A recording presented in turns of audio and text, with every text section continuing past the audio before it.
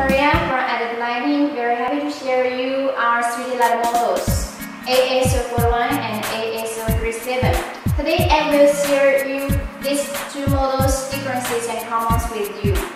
Uh, the commons, the two models can do 50 watts, 100, 150 and 200 watts.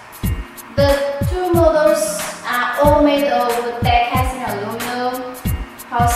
housing, lens, uh, chips, and they can do 2 years, 3 years, and 5 years warranty with brand LED chips, brand and brand LED drivers.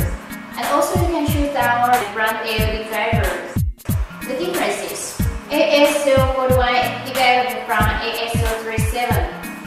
The size is smaller than AS037. The smaller size is enough for the heat dissipation. It's good for our importer to place small pieces in one container. The smaller size is cost effective and it's with competitive price in the market. For the structure, AS037 driver box shield is on the back of the lamp. It is exposed to the sun and rain.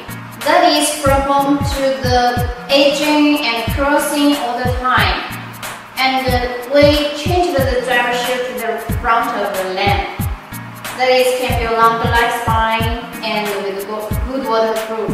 And we also designed the place for the sensor. Uh, it can be slide sensor or single light controller. If you are interested in this two